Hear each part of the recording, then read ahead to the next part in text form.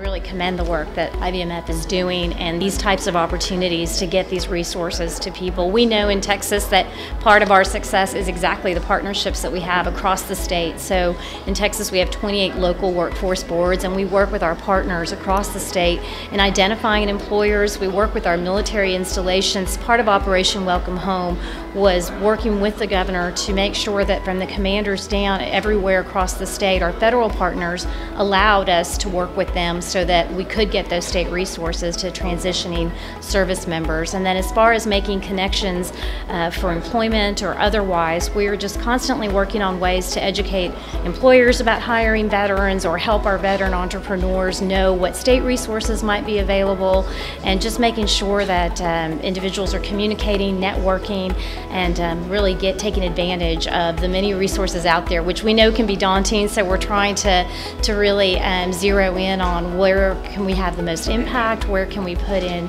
the most the best investment to make sure that people succeed.